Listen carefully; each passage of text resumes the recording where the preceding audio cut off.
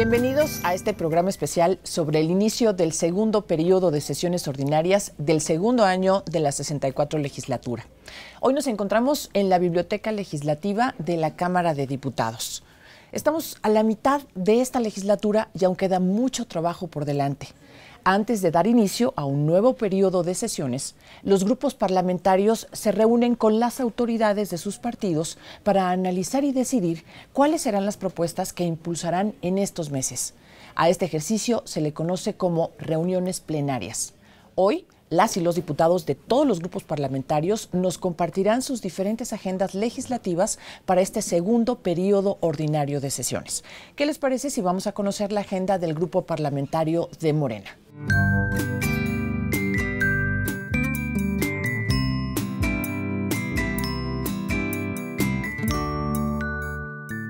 Un tema muy importante va a ser reformar el artículo cuarto constitucional para que la política social de este gobierno sea un derecho social garantizado en nuestra Carta Magna, para que no sea un programa que vaya y venga con los gobiernos, sino que sea una atención permanente a nuestros adultos mayores.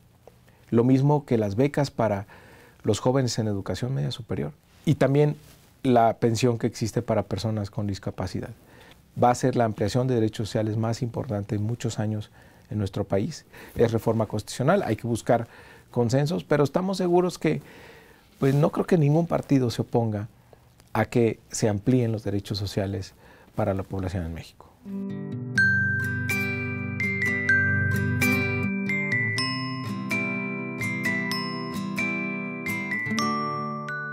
es una política social que ya no es como antes, de que solo favorecía unos grupos o se usaba electoralmente con manipulación de padrones. No, aquí estamos hablando que se convierten en derechos sociales exigibles, es decir, el único requisito es que se tenga eh, más de 68 años y ya se tiene acceso a la pensión. Ya sea vivas en Baja California, en Yucatán, en Jalisco, en Chihuahua, tienes derecho a tu pensión. Lo mismo que los jóvenes. El único requisito es estar estudiando educación media superior, la preparatoria, en una escuela pública y con eso ya tienes acceso a este apoyo. Y también lo mismo para personas con discapacidad. Claro que es muy evidente el beneficio para la población. La prioridad va a ser, y primero, primero, los pobres.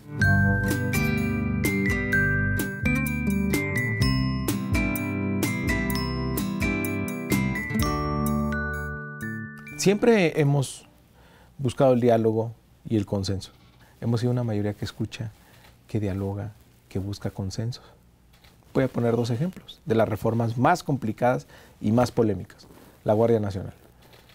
Finalmente salió por consenso, con el apoyo de todos los partidos, de manera unánime. O la reforma educativa, que se trataba pues de superar la reforma anterior. ¿Por qué ocurre esto? Porque hay diálogo, porque hay consenso, porque somos capaces de escuchar, porque estamos seguros que nosotros podemos convencer con argumentos lo que estamos proponiendo, porque es en favor del pueblo de México. En el periodo de sesiones pasado se aprobó darle la distinción al 2020 como año de Leona Vicario, benemérita madre de la patria. Su nombre fue inscrito en letras de oro sobre el muro de honor de esta Cámara el 26 de noviembre de 1948, junto con el de otras mexicanas excepcionales. Este año tocará hacerle otros reconocimientos a esta importante insurgente de la lucha independentista de México. Pero volviendo con nuestros entrevistados, vamos a conocer los puntos más destacados de la reunión plenaria del Partido Acción Nacional.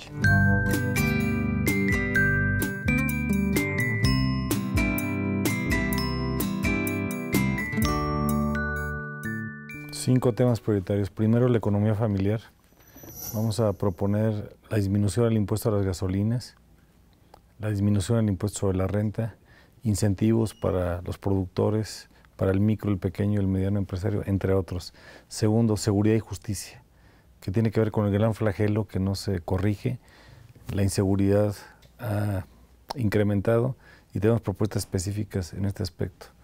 Tercero, la pobreza y la desigualdad, y que pasa por educación, por salud, vivienda y varios aspectos que no están suficientemente atendidos. El cuarto es el contrapeso de la defensa de las instituciones tenemos el fortalecimiento de los órganos autónomos y la atención importantísima de la sustitución de cuatro consejeros electorales del Instituto Nacional Electoral. Y quinto, el desarrollo sustentable que pasa por el medio ambiente y que significa agua, reservas eh, forestales y una serie de aspectos que tenemos que ver de manera más integral. Por otra parte, hay aspectos que en la agenda obligadamente tienen que atenderse. Por ejemplo, la Ley Federal de Remuneraciones, que es un mandato de la Suprema Corte de Justicia de la Nación, la posible reglamentación de la reelección de los legisladores, la parte reglamentaria de la prisión preventiva del artículo 19 de la propia Constitución, entre otros.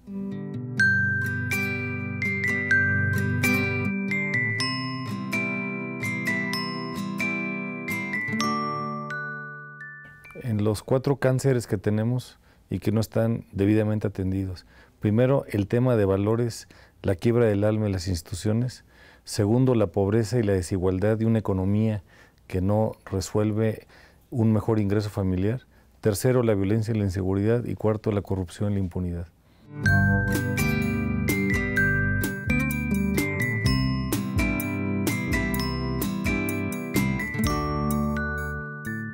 Nosotros representamos a la población y nos debemos a ella. Y siempre hay que escuchar.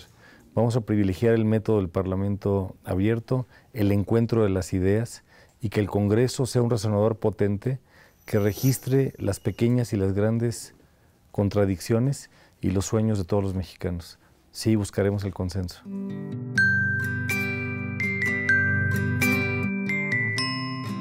En este periodo se llevará a cabo la primera entrega del Premio Nacional al Mérito Deportivo y se otorgará a la destacada gimnasta Alexa Moreno, quien ya tiene su lugar en los Juegos Olímpicos de Tokio este verano. Conozcamos ahora las propuestas prioritarias de la agenda legislativa del Partido Revolucionario Institucional.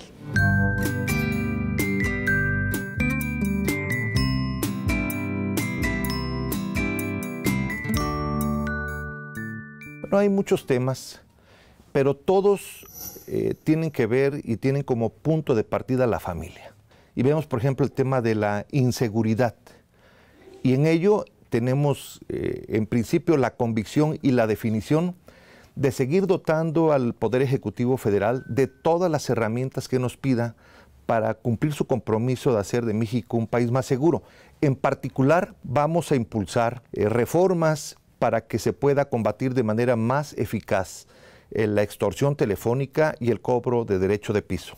Vamos a impulsar reformas que tienen que ver con la economía familiar, que sean deducibles al 100% las colegiaturas, los gastos médicos, la creación del derecho al pago en, en momentos de desempleo, que el gobierno vuelva a considerar que las estancias infantiles se vuelvan a instalar. También vamos a insistir en que los programas sociales, dejen de ser asistencialistas, que después de que termine el programa vivan de ellos. Vamos a apoyar temas y propuestas concretas en materia de salud para que hayan medicamentos de manera oportuna y de manera gratuita y que la gratuidad se asegure en todos los niveles, no solamente primero y segundo nivel. Estaremos muy atentos que el INSABI funcione.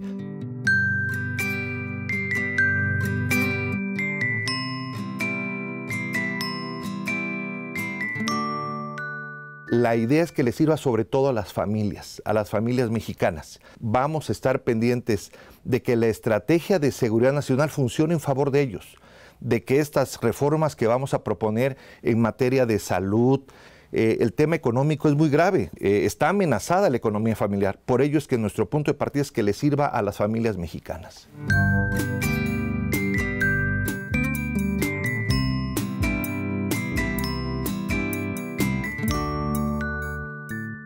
Lo que pretendemos es de que hayan propuestas que todo el mundo diga, pues, le va a servir a la gente. A ver, yo no creo que haya alguien que se vaya a oponer a que México esté más seguro. No creo que alguien va a decir, oye, el PRI hace muy mal en apoyar las propuestas del Ejecutivo. Eh, no creo que nos puedan cuestionar el que pidamos que las colegiaturas eh, sean deducibles al 100%, igual los gastos médicos.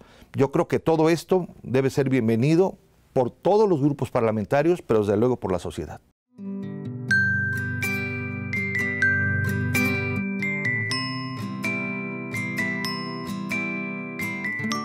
periodo, el Pleno de la Cámara de Diputados entregará también otras medallas. Por segunda ocasión se otorgarán las preseas Sor Juan Inés de la Cruz y Gilberto Rincón Gallardo. Además, como cada año desde 1969, se condecorará a un mexicano con la medalla al mérito cívico Eduardo Neri y legisladores de 1913. Toca ahora al Partido del Trabajo exponer los temas que más interesan a este grupo parlamentario.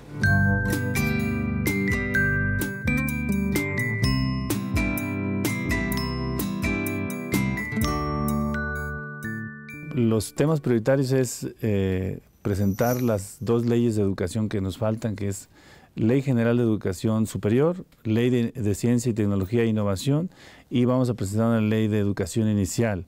Y también vamos a empujar la desaparición de la absorción, la subcontratación y también vamos a seguir empujando que las AFORES desaparezcan y se conforme el Fondo Solidario y la Ley General de Aguas, eh, entre muchas otras, porque nuestra agenda ahora es muy completa, muy integral.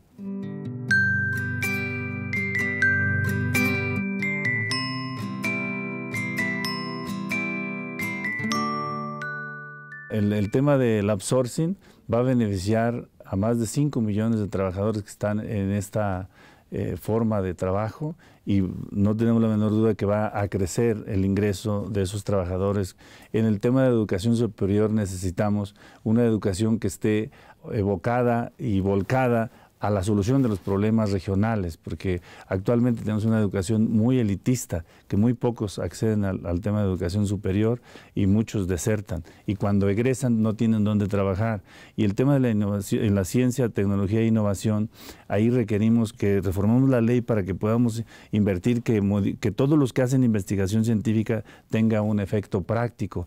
Y en el caso de México, eh, la competitividad está descargada en el bajo salario y no hay inversión en innovación tecnológica, no tenemos industria. Estamos también eh, puchando la reforma del artículo 4 constitucional para que los adultos mayores y los discapacitados reciban lo que están haciéndolo ahora como derecho y no como un programa social, sino que quede ya garantizado en la Constitución. Entonces va a ayudar a muchos mexicanos lo que nosotros estamos proponiendo.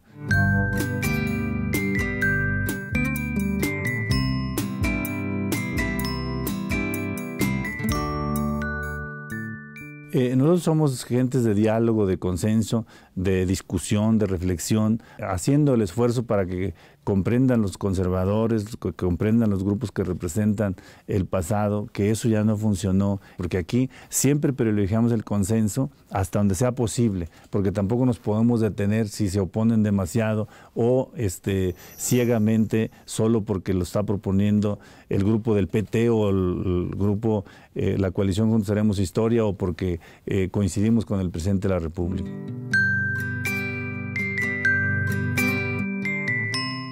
Como ya les había comentado, seguimos al interior de la Biblioteca Legislativa de la Cámara de Diputados, una importante fuente de consulta para legisladores y el público en general. Esta biblioteca cuenta con un amplio acervo multidisciplinario, así como distintos servicios en su sitio virtual. Comentaremos ahora las propuestas que busca impulsar el grupo parlamentario de Movimiento Ciudadano.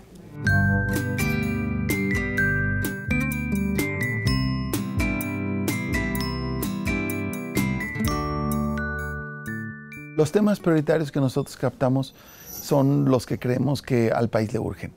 Y las urgencias del país son las urgencias de los ciudadanos. Y nosotros creemos que en materia de seguridad no ha quedado claro la estrategia para todo el mundo. Eh, tenemos entidades federativas con zonas en las cuales no hay eh, la presencia suficiente y del gobierno federal. Entonces la seguridad es el primer tema y es un tema en el que nosotros vamos a insistir. El segundo tema eh, que para nosotros es fundamental, es que haya crecimiento económico.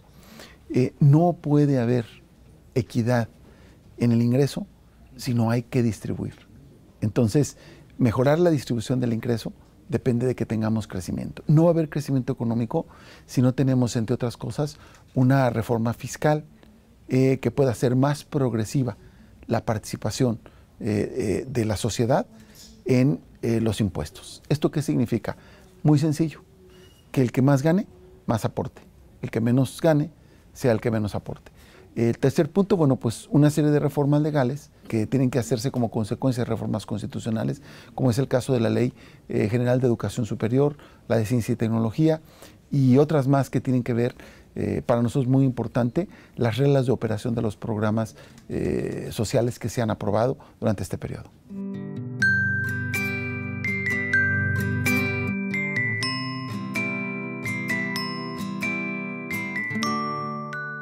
Si la gente está planteando como demanda número uno que quiere seguridad, lo menos que puede hacer el Poder Legislativo y lo menos que podemos hacer los tres poderes de la Unión, los gobiernos de las entidades federativas, los gobiernos municipales, es actuar para dar respuesta a esa demanda ciudadana. Eso es en tema de la seguridad. Y en el tema de crecimiento económico, se están perdiendo empleos y tenemos que tener crecimiento económico para que haya distribución del ingreso.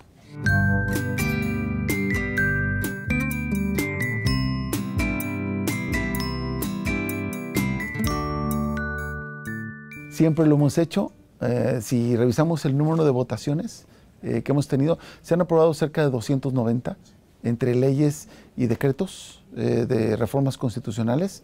El total de votaciones junto con el Plan Nacional de Desarrollo, etcétera, han sido como 290. Yo le puedo decir que el 88-89% de las votaciones de Movimiento Ciudadano han sido a favor. Eso es la muestra de que privilegiamos consensos por un lado y por otro lado privilegiamos el interés ciudadano, independientemente de dónde venga la propuesta, lo que importa es que de veras responda al interés eh, de la ciudadanía.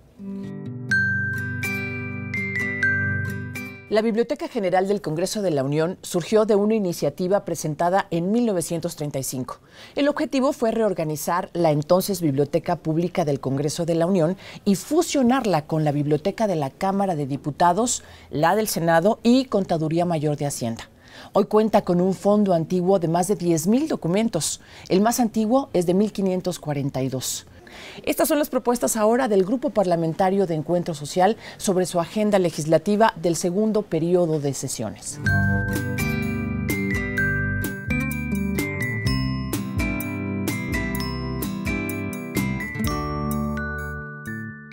Tenemos cinco puntos, venimos este, nuestra plenaria con cinco puntos. Eh, creemos eh, en la creación de un ombudsperson en materia de salud para acercar a los pacientes y a sus familiares en sus legítimas demandas frente al Sistema Nacional de Salud y los prestadores de servicios privados en esta materia. Eh, vamos a impulsar la Ley General de Gestión Integral de Riesgo de Desastres y Protección Civil para incorporar los mecanismos de resiliencia, las donaciones y las actuaciones de las autoridades. Vamos a impulsar la creación del Código Nacional de Procedimientos Civiles y Familiares para homologar los criterios procesales civiles y familiares y atender el mandato constitucional del 2017. Vamos a impulsar la nueva Ley General de Mecanismos Alternativos de Solución de Controversias para agilizar el acceso a la justicia a la sociedad mexicana a través de mecanismos que privilegien el diálogo y los acuerdos entre las partes y eh, evidentemente estamos trabajando en una reforma electoral que permita que los partidos de reciente creación se puedan eh, coaligar en, el proceso electoral con partidos ya existentes, que podamos fusionar partidos locales con partidos nacionales y sobre todo en encuentro social no quitaremos el dedo del renglón para decir cero financiamiento público a partidos políticos, que los partidos políticos le dejen de costar a los mexicanos, que el financiamiento sea privado, con una vigilancia para que sea absolutamente pulcro y transparente el origen de los recursos. Eso es principalmente lo que en Encuentro Social creemos que debemos de hacer en este periodo y vamos a trabajar en esto.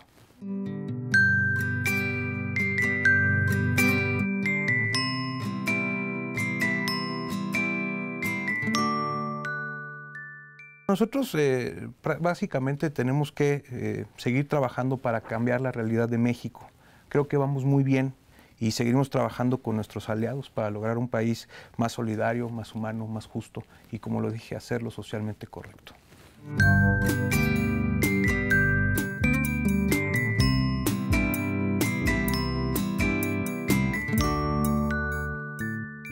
Efectivamente creemos que tenemos que alcanzar los acuerdos no solo con nuestros aliados, sino con las otras fuerzas políticas y así es como lo hemos venido haciendo.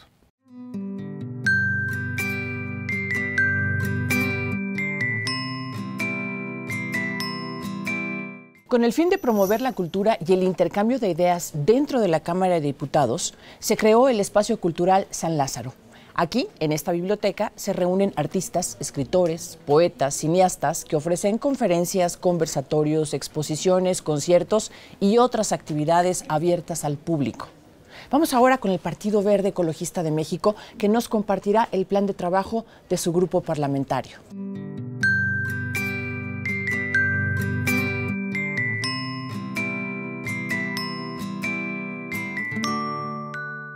Bueno, yo te diría que, la coyuntura y la dinámica de este país te, obliga a ser muy dinámico en la definición de cuál es, tu, cuál es tu plataforma. Un poco a diferencia de otros grupos parlamentarios, nosotros vamos partiendo de las necesidades del país y a partir de ahí buscamos construir para los próximos cuatro meses eh, una agenda que tenga que ver con, con lo profundo, con lo coyuntural, con las causas, con aquello que realmente está agraviando a la sociedad mexicana. La tenemos en tres espacios. Yo te diría principalísimo el tema de niños con cáncer.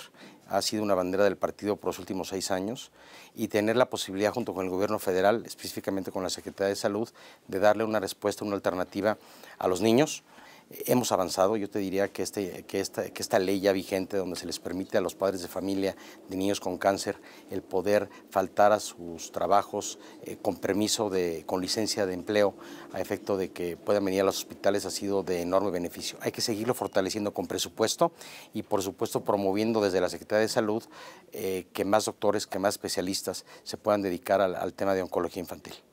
Por otro lado, por supuesto, el tema de cambio climático eh, tiene que ver con, la esfera principalísima de la sustentabilidad como un mecanismo que tiene que ver de forma transversal con todo lo que pasa en, la vida diaria cotidiana, tanto de los mexicanos, tanto del gobierno y por supuesto de lo que tiene que ver con las proyecciones futuras en materia de infraestructura, en materia de generación y construcción de políticas públicas.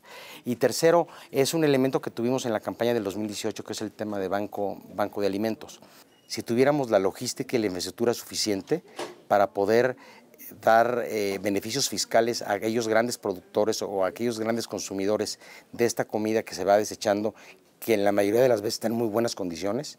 Y si podemos construir infraestructura y logística en estos bancos de alimentos en todo el país, daríamos una respuesta inmediata, fuerte y solvente a estos problemas de alimentación que tenemos en México.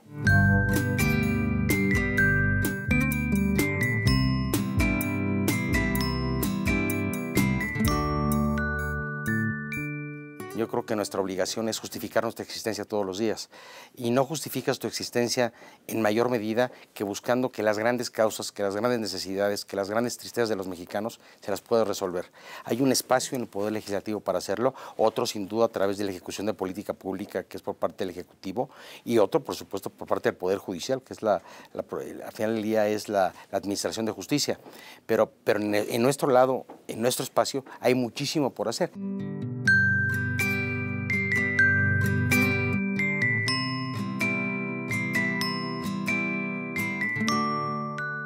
Si tú quieres que tu agenda legislativa se convierta en ley y posteriormente en política pública por parte de ejecución, por parte de aplicación del Ejecutivo, eh, requieres de construir consensos, requieres de, generar un espacio de armonía, un espacio de diálogo y, buscar que independientemente de que estés de acuerdo o en desacuerdo con, con, determinadas acciones, puedas tú debatirlo primero que nada con respeto, con inteligencia, sí con pasión. Entonces, este periodo es trascendental.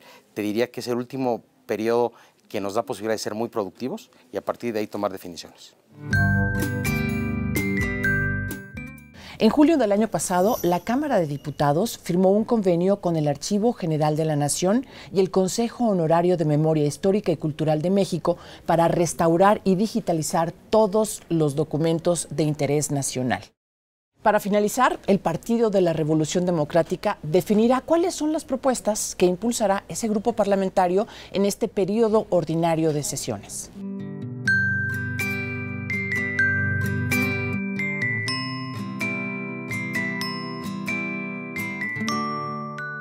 Entre otros resolutivos e iniciativas que estaremos presentando son todas aquellas que tengan que ver para defender eh, nuestras instituciones. Todo lo que tiene que ver con un proceso de renovación de cuatro consejeros y que es facultad de la Cámara de Diputados el elegirlos. Por otra parte, vamos a impulsar distintas iniciativas que tienen que ver con la garantía de los derechos humanos de todas y todos. Vamos a asumir la agenda de las víctimas, la agenda que tiene que ver con el movimiento de paz, justicia y verdad que ha encabezado Javier Sicilia y que ha encabezado los Levarón. Vamos a impulsar un paquete de iniciativas también que tienen que ver con la garantía de derechos de niñas, niños y adolescentes. Y nos parece sustancial que desde la Cámara de Diputados se impulsen iniciativas que culminen en una política integral de Estado para poder erradicar, eh, combatir y prevenir la violencia en la que se están viendo inmersos. Vamos a impulsar también para que en el próximo periodo podamos aterrizar todas las leyes secundarias que tienen que ver con la paridad. Vamos a presentar reformas que se hagan a las funciones y atribuciones del CONASAMI para que podamos alcanzar los 210 pesos de aquí al 2024 porque nos parece que es necesario que las trabajadoras y los trabajadores mexicanos tengan un salario adecuado vamos a impulsar distintas iniciativas que tengan que ver con una agenda verde, que no quede en la prohibición de las bolsas de plástico, entre otras cosas que tiene que ver también con la energía, como la usamos, y presentaremos algunas iniciativas que tienen que ver con el Banco de México, con la coordinación fiscal para que los dineros se distribuyan equitativamente entre la federación y las entidades y los municipios.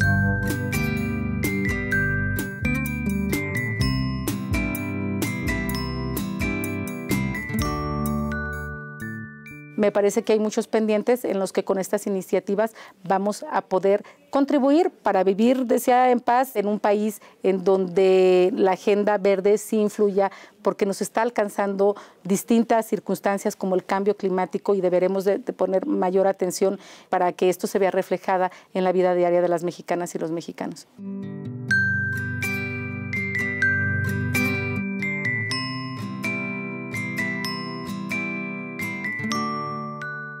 Sin lugar a dudas, me parece que eso es el ideal de, lo que debería de hacer el Congreso de, la Unión y de manera particular la Cámara de, Diputados. Con independencia del número de legisladoras o legisladores, representamos ideas, representamos propuestas y por supuesto que desde el PRD vamos a apostarle al consenso y a los acuerdos.